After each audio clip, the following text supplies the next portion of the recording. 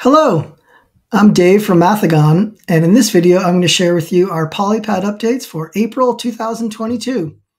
Here I am at a blank canvas at polypad.org, and the first new tile I want to share with you is our coins. So I'm going to go to Games and Applications, I'll click on Currencies. You can see we have coins in US currency, in euros, and in British pounds.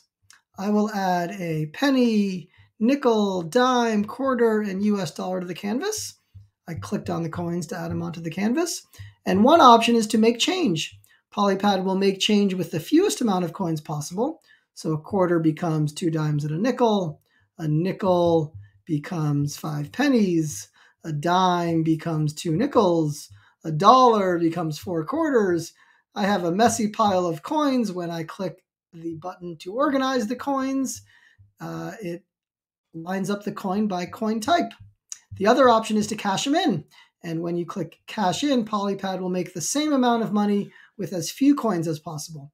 I think I started with one of each. So there we are. I click cash in and I have one of each. I'm going to go to the algebra section and add a balance scale to the canvas. And I want to show you that these coins work with the balance scale. So if I put a dollar on one side, I can balance that with four quarters. I'm using the C button on my keyboard to copy the quarters.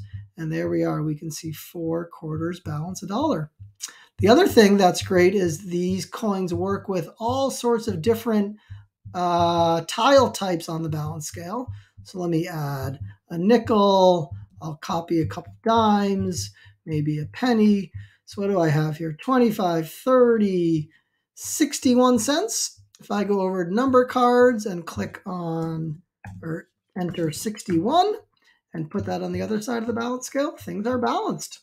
So those are our coins. We're looking forward to seeing to seeing all the ideas that you have with, to use these coins with students. So please share them as you start creating tasks and activities with these coins.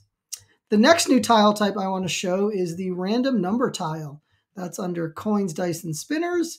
It's this new green tile that says random number. I've added that to the canvas and I click randomize a whole bunch of times and you can see each time I click it's making a new random number. By clicking on the gear, I can change the smallest and largest number. I can go from negative 100 to 100 and it will choose an integer between negative and 100 to 100.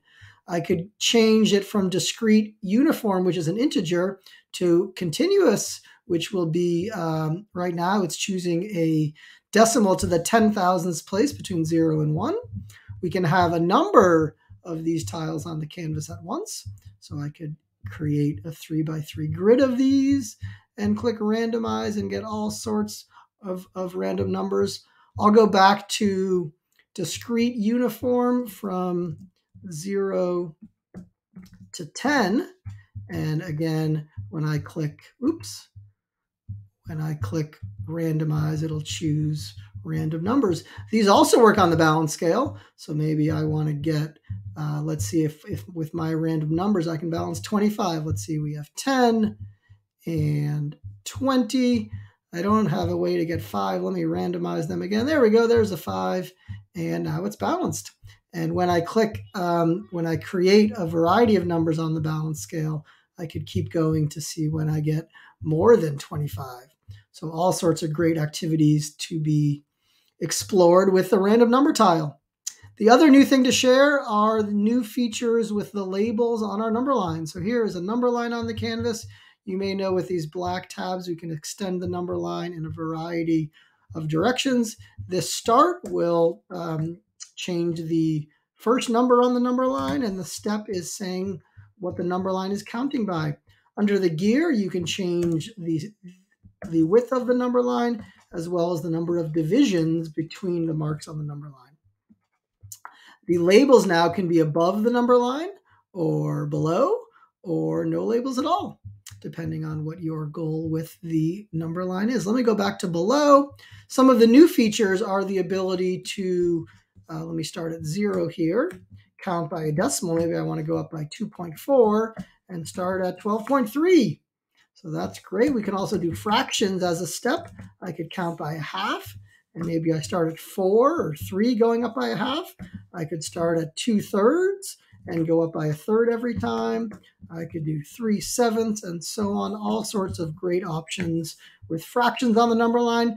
Percents can work as well. So I could start at 0 and maybe count by 10% or 30%, maybe starting at 50% and going up by 30%.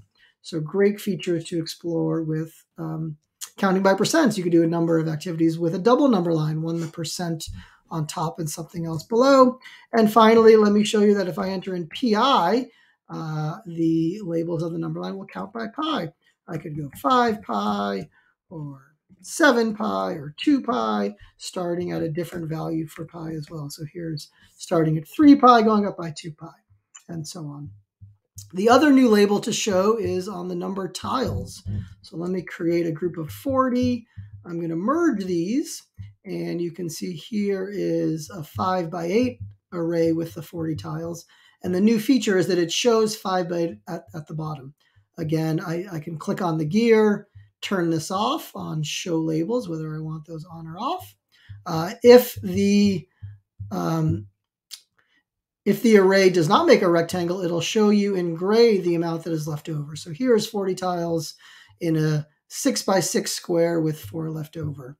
Here are 40 tiles in a 7 by 5 rectangle with 5 left over, and so on. So those are our new features for uh, April 2022.